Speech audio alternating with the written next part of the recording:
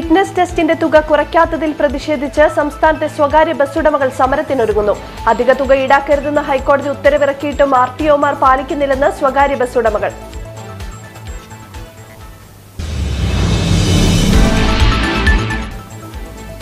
Covid നിയന്ത്രണ ലംഘനവുമായി ബന്ധപ്പെട്ട് സംസ്ഥാനത്തെ പോലീസ് സ്റ്റേഷനുകളിൽ രജിസ്റ്റർ ചെയ്ത ഗൗരവ സ്വഭാവമില്ലാത്ത കേസുകൾ പിൻവലിക്കാൻ നിർദ്ദേശം. പിഴയും മൂന്ന് വർഷം വരെ തടവും ലഭിക്കാൻ സാധ്യതയുള്ള നിസാര കേസുകൾ പിൻവലിക്കാനാണ് നിർദ്ദേശം.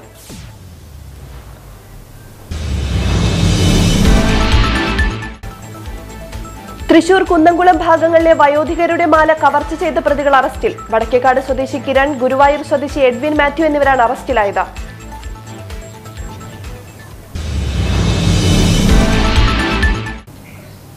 നമസ്കാരം. ന്യൂസ് റൗണ്ടപ്പിലേക്ക് സ്വാഗതം. വിശദമായ വാർത്തകൾ. ഫിറ്റ്നസ് ടെസ്റ്റിന്റെ തുക കുറയ്ക്കാത്തതിൽ പ്രതിഷേധിച്ച് സംസ്ഥാനത്തെ സ്വകാര്യ ബസ് ഉടമകൾ സമരത്തിനൊരുങ്ങുന്നു. ടെസ്റ്റിന് മോട്ടോർ വാഹന വകുപ്പ് അധിക തുക ഈടാക്കുന്നു എന്നാണ് സ്വകാര്യ ബസ് ഉടമകളുടെ പരാതി.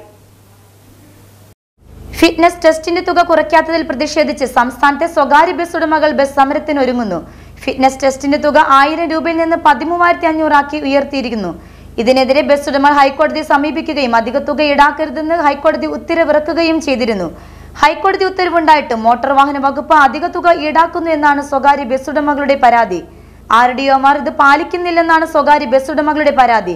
ഇതിൽ പ്രതിഷേധിച്ച് കോടതി അലക്ഷ്യത്തിന് കേസ് നൽകാനും സമരമായി മുന്നോട്ടു പോകാനുമാണ് സ്വകാര്യ ബസ് ഉടമകളുടെ തീരുമാനം. Media time Kochi. കോവിഡ് നിയന്ത്രണ ലംഘനവുമായി ബന്ധപ്പെട്ട് സംസ്ഥാനത്തെ പോലീസ് സ്റ്റേഷനുകളിൽ രജിസ്റ്റർ ചെയ്ത ഗൗരവ സ്വഭാവമില്ലാത്ത കേസുകൾ പിൻവലിക്കാൻ നിർദ്ദേശം. രണ്ടായിരം രൂപ വരെ പിഴയും മൂന്ന് വർഷം വരെ തടവും ലഭിക്കാൻ സാധ്യതയുള്ള നിസാര കേസുകൾ പിൻവലിക്കാനാണ് നിർദ്ദേശം. നിയന്ത്രണം ലംഘിച്ച് പുറത്തിറങ്ങി രോഗവ്യാപനം പടർത്തൽ ഒത്തുചേരൽ നിയന്ത്രണം ലംഘിച്ചുള്ള ഡ്രൈവിംഗ് കേസുകളിൽ ഹാജരാകാൻ നിർദ്ദേശിച്ചിട്ടും ഹാജരാകാതിരിക്കൽ അടക്കമുള്ള വിഷയങ്ങളുമായി ബന്ധപ്പെട്ട് രജിസ്റ്റർ ചെയ്ത പിഴയും തടവും ലഭിക്കാൻ സാധ്യതയുള്ള കേസുകളാണ് പിൻവലിക്കാൻ ആഭ്യന്തര വകുപ്പ് ഉത്തരവിറക്കിയത്. Indian penal code Kerala police act Kerala epidemic ordinance ദുരന്ത പ്രതികരണ നിയമം തുടങ്ങിയവയിലെ ചില വകുപ്പുകൾ പ്രകാരം രജിസ്റ്റർ ചെയ്ത കേസുകൾ പിൻവലിക്കാനാണ് നിർദ്ദേശം. അശ്രദ്ധമായ പ്രവൃത്തികളിലൂടെ രോഗവ്യാപനത്തിന് ഇടയാക്കുന്ന തരത്തിലുള്ള നടപടികൾ ആഘോഷങ്ങളും ആരാധനകളുമായി ബന്ധപ്പെട്ട് ഒത്തുചേരലുകൾ പൊതുശല്യമാകുന്ന തരത്തിലുള്ള ഡ്രൈവിംഗ് പ്രസ്താവനയിൽ ഒപ്പിടാൻ വിസമ്മതിച്ചതുമായി ബന്ധപ്പെട്ട കേസുകൾ സമൻസ് നൽകിയിട്ടും മറുപടി നൽകാതിരുന്നതും ഹാജരാകാതിരുന്നതുമായ കേസുകൾ തുടങ്ങിയവയാണ് പിൻവലിക്കാൻ നിർദ്ദേശിച്ചിട്ടുള്ളത്.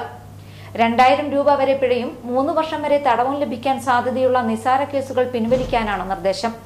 ഇതുവഴി സംസ്ഥാനത്ത് രജിസ്റ്റർ ചെയ്ത ആയിരക്കണക്കിന് കേസുകൾ പിൻവലിക്കപ്പെടുമെന്നാണ് കണക്കാക്കുന്നത്.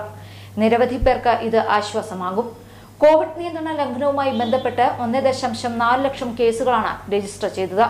കോവിഡ് കാലത്ത് രജിസ്റ്റർ ചെയ്ത കേസുകൾ പിൻവലിക്കുന്നതുമായി ബന്ധപ്പെട്ട് പരിശോധിക്കാൻ ആഭ്യന്തര അഡീഷണൽ ചീഫ് സെക്രട്ടറി കൺവീനറായും നിയമവകുപ്പ് സെക്രട്ടറി സംസ്ഥാന പോലീസ് മേധാവി എന്നിവർ അംഗങ്ങളുമായും സർക്കാർ സമിതിയെ നിയോഗിച്ചിരുന്നു. ഈ സമിതിയുടെ നിർദ്ദേശത്തിന്റെ അടിസ്ഥാനത്തിലാണ് ഗുരുതര സ്വഭാവമില്ലാത്ത കേസുകൾ പിൻവലിക്കാൻ ഉത്തരവിറക്കിയത്.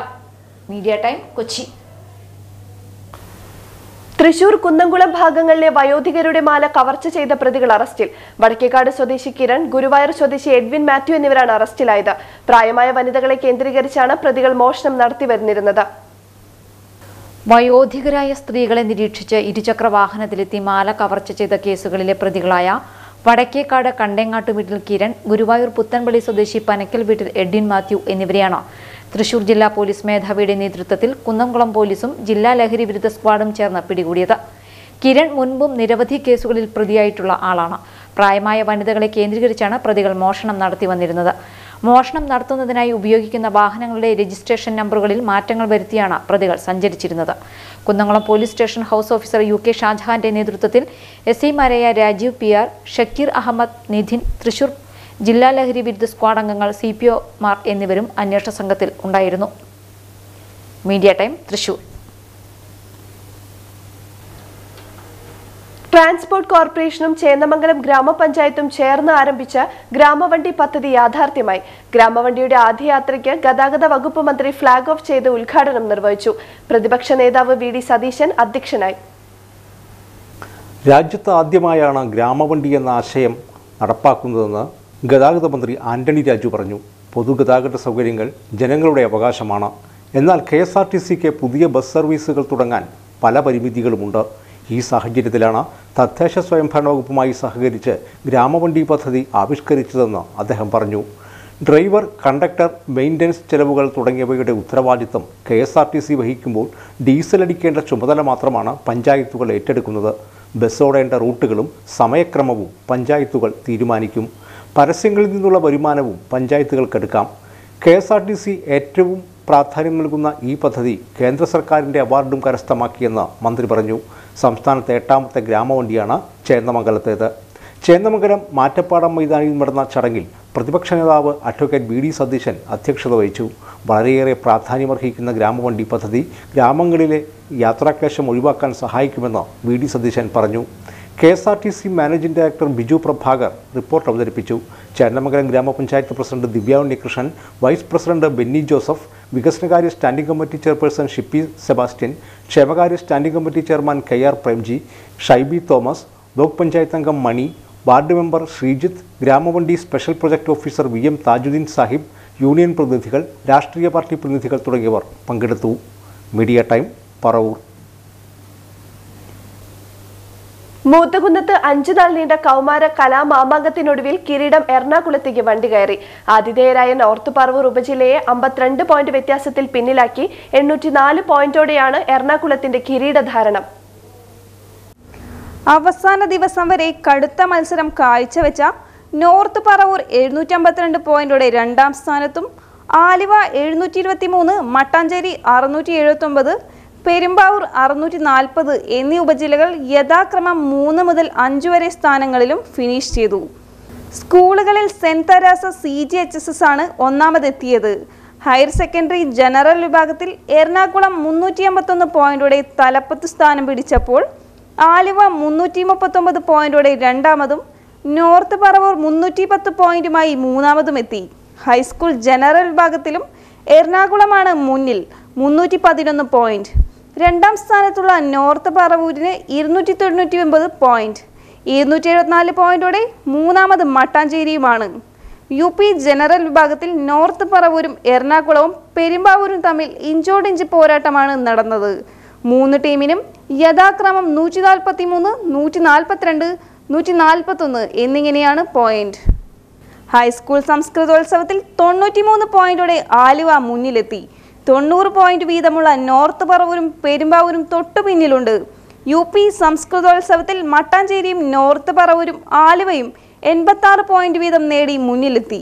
എച്ച് എസ് അറബിക്കിൽ ആലുവ എൺപത്തേഴ് പോയിന്റോടെ എൺപത്തഞ്ച് പോയിന്റുള്ള വൈപ്പിനുമായി ഇഞ്ചോടിഞ്ച് പോരാട്ടമായിരുന്നു.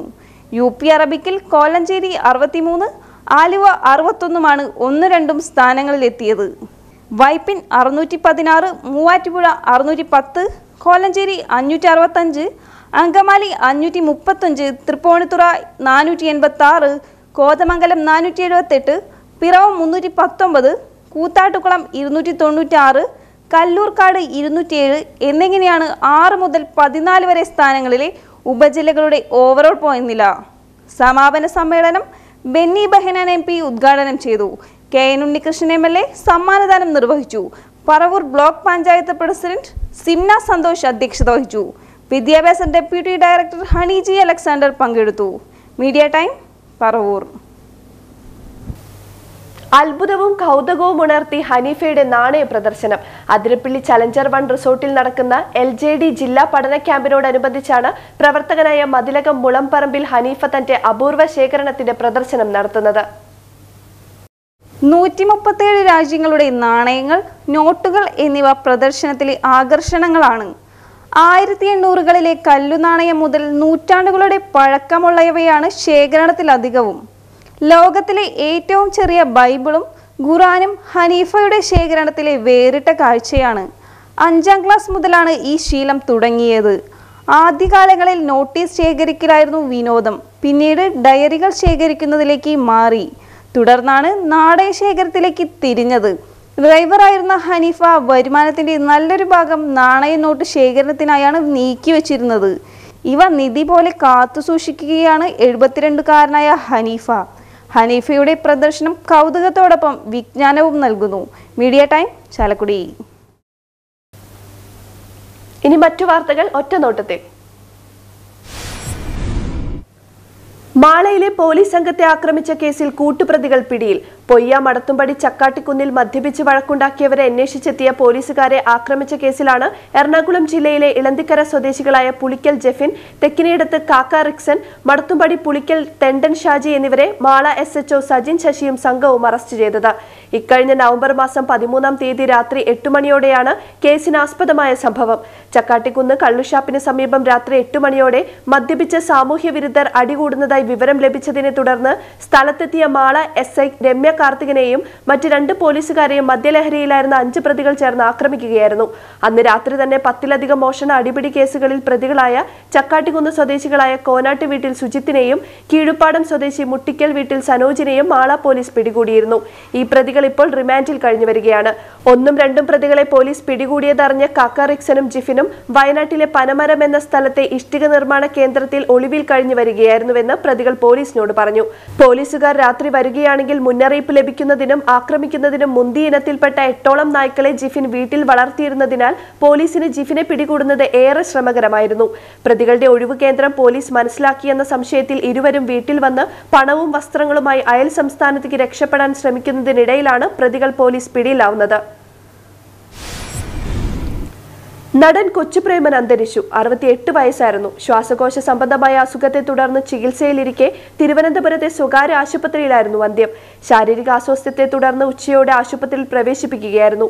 തമാശ റോളുകളിലും ക്യാരക്ടർ റോളുകളിലും ഏറെക്കാലം സജീവമായിരുന്നു. ഇരുന്നൂറ്റി അമ്പതിലേറെ സിനിമകളിൽ അഭിനയിച്ചു. സിനിമയിൽ വരുന്നതിന് മുൻപ് നാടകത്തിൽ സജീവമായിരുന്നു. സീരിയലിലും അഭിനയിച്ചിട്ടുണ്ട്. ചരിത്രത്തിലാദ്യമായി ഗുരുവായൂർ ഏകാദശി ആചരണം രണ്ട് ദിവസമായി നടക്കുകയാണ്. ഗുരുവായൂർ ദേവസ്വം വകയായി ഇന്നും നാളെയുമാണ് ആഘോഷം നടക്കുന്നത്. ഇന്ന് ഉദയാസ്തമന പൂജയോടെയാണ് ആഘോഷം. കാഴ്ചശിവേലിക്ക് തിരുവല്ല രാധാകൃഷ്ണൻ ഗുരുവായൂർ സന്തോഷ് മാരാർ എന്നിവർ മേളം നയിച്ചു. രാവിലെ പാർത്ഥസാരഥി ക്ഷേത്രത്തിലേക്ക് നടക്കുന്ന എഴുന്നള്ളിപ്പിന് പല്ലശന മുരളി മാരാരുടെ നേതൃത്വത്തിൽ പഞ്ചവാദ്യം സന്ധ്യയ്ക്ക് പാർത്ഥസാരഥി ക്ഷേത്രത്തിലേക്ക് നാമജപ ഘോഷയാത്രയും തിരിച്ച് രഥഘോഷയാത്രയുമാണ് നടന്നത്. പൂജകൾക്കല്ലാതെ ദ്വാദശി ദിവസം രാവിലെ വരെ ക്ഷേത്രനട അടക്കില്ല. വെള്ളാങ്കല്ലൂർ ബ്ലോക്ക് പഞ്ചായത്ത് കേരളോത്സവത്തിന് ആവേശോജ്വലമായ തുടക്കം. ജില്ലാ പഞ്ചായത്ത് പ്രസിഡന്റ് ഡേവിസ് കേരളോത്സവം ഉദ്ഘാടനം ചെയ്തു. ഉദ്ഘാടന ദിവസം നടന്ന വടംവലി മത്സരത്തിൽ വെള്ളാങ്കല്ലൂർ പഞ്ചായത്ത് ടീം ജേതാക്കളായി. വനിതാ വടംവലി മത്സരത്തിൽ പടിയൂർ പഞ്ചായത്ത് വിഭാഗം ജേതാക്കളായി.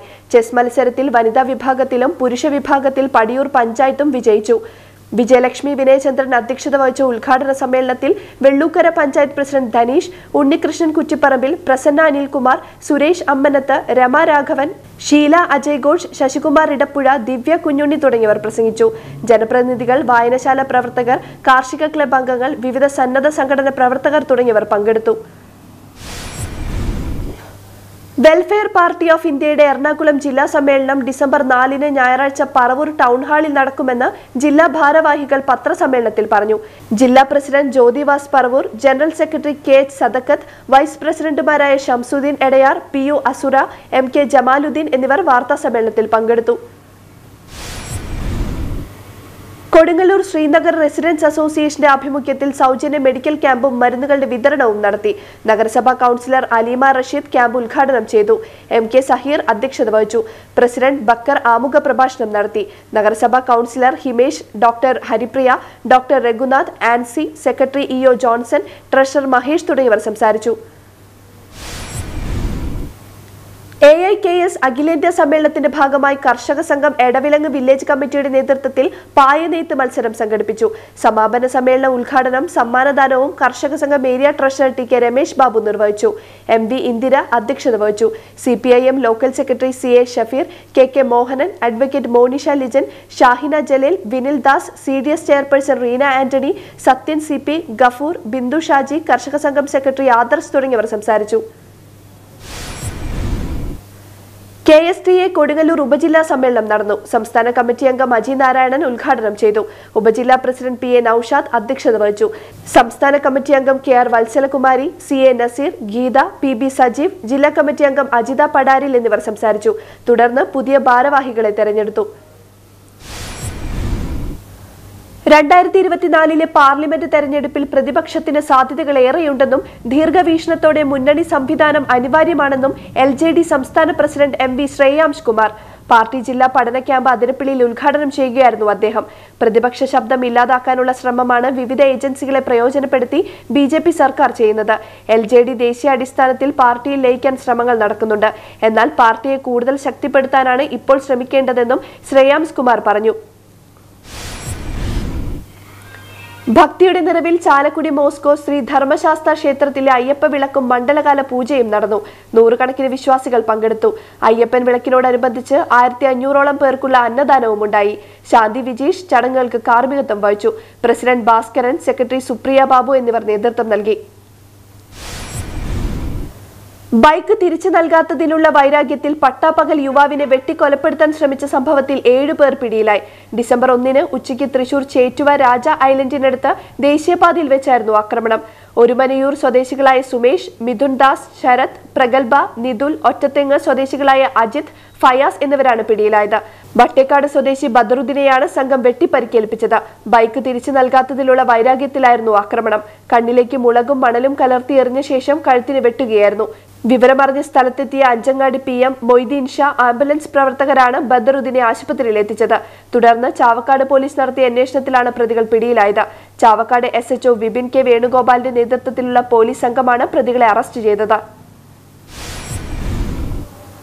കൊടുങ്ങല്ലൂർ താലൂക്ക് സഭയിൽ വാട്ടർ അതോറിറ്റിക്ക് അഭിനന്ദനങ്ങളും രൂക്ഷ വിമർശനവും. കൊടുങ്ങല്ലൂർ താലൂക്കിലെ വിവിധ വകുപ്പുകളുടെ പ്രവർത്തനങ്ങൾ വിലയിരുത്താൻ വിളിച്ചുകൂട്ടിയ താലൂക്ക് വികസന സമിതിയിലാണ് water authority ഡിപ്പാർട്ട്മെന്റിനെ M L A E D Tyson അഭിനന്ദിച്ചത്. Jal Jeevan mission പദ്ധതി സംസ്ഥാനത്ത് തന്നെ പൂർത്തീകരിച്ച ഗ്രാമപഞ്ചായത്തുകൾ എറിയാട് എടവിലങ്ങ് ഗ്രാമപഞ്ചായത്തുകളാണ് അവിടെ വാട്ടർ അതോറിറ്റി നടത്തിയ പ്രവർത്തനം അഭിനന്ദനാർഹമാണ്. ഒപ്പം തന്നെ മണ്ഡലത്തിലെ മറ്റു പഞ്ചായത്തുകൾ വാട്ടർ അതോറിറ്റി കാണിക്കുന്ന ഉത്തരവാദിത്തമില്ലായ്മയെ രൂക്ഷമായി വിമർശിക്കുകയും ചെയ്തു. ഈ സ്ഥിതി തുടർന്നു പോയാൽ നടപടി നേരിടേണ്ടി വരുമെന്നും M L A E D Tyson മുന്നറിയിപ്പ് നൽകി. യോഗത്തിൽ municipal chairperson M U Shinija ഗ്രാമപഞ്ചായത്ത് പ്രസിഡന്റുമാരായ ചന്ദ്രബാബു വിനീത മോഹൻദാസ് ജില്ലാ പഞ്ചായത്ത് വികസനകാര്യ standing committee chairperson K S Jaya ജില്ലാ പഞ്ചായത്ത് മെമ്പർ സുഗത ശശിധരൻ തഹസിൽദാർ കെ രേവ തുടങ്ങിയവർ വിവിധ വകുപ്പുകളിലെ ഉദ്യോഗസ്ഥർ എന്നിവർ പങ്കെടുത്തു. പ്രധാന വാർത്തകൾ ഒരിക്കൽ കൂടി.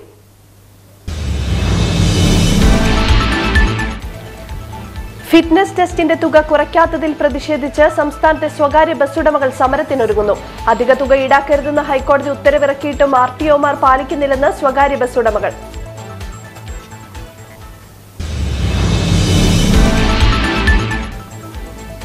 കോവിഡ് നിയന്ത്രണ ലംഘനവുമായി ബന്ധപ്പെട്ട് സംസ്ഥാനത്തെ പോലീസ് സ്റ്റേഷനുകളിൽ രജിസ്റ്റർ ചെയ്ത ഗൗരവ സ്വഭാവമില്ലാത്ത കേസുകൾ പിൻവലിക്കാൻ നിർദ്ദേശം. പിഴയും മൂന്ന് വർഷം വരെ തടവും ലഭിക്കാൻ സാധ്യതയുള്ള നിസാര കേസുകൾ പിൻവലിക്കാനാണ് നിർദ്ദേശം.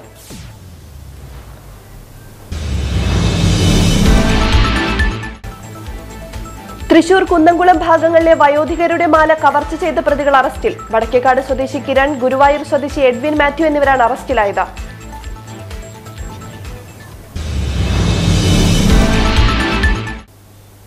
ഇതോടെ ന്യൂസ് റൗണ്ടപ്പ് സമാപിച്ചു. നമസ്കാരം.